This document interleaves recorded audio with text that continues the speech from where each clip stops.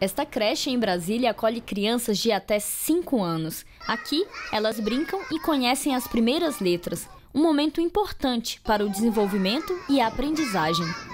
A creche ela tem muita importância para a educação porque ela passa não só do cuidar para o educar também. Então essas crianças aqui dentro já são desenvolvidas pedagogicamente a partir do momento que elas entram.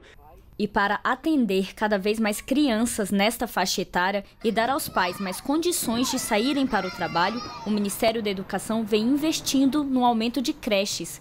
Dados do censo escolar, feito pelo Instituto de Estudos e Pesquisas Educacionais Anísio Teixeira, o INEP, mostram que houve um aumento de quase 20% nesse tipo de escola entre 2013 e 2017. A quantidade de alunos matriculados em creches também aumentou 94,5% nesse período. Outro dado divulgado pelo censo mostra que no país são 184 mil escolas de educação básica. Mais de 60% delas estão sob responsabilidade dos municípios e a maioria ofertam ensino fundamental.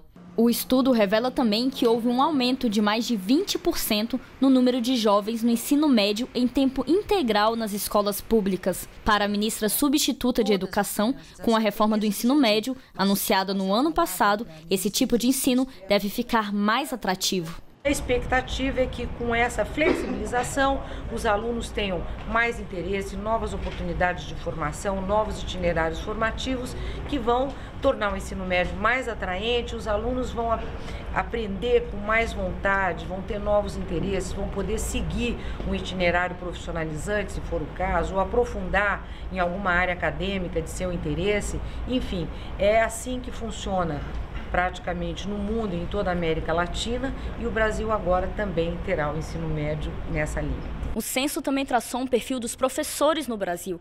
São 2 milhões de docentes em todo o país. A maioria são mulheres, que dão aulas em escolas públicas para ensino fundamental. Em relação aos professores de ensino médio, a grande maioria, mais de 90%, tem o ensino superior completo.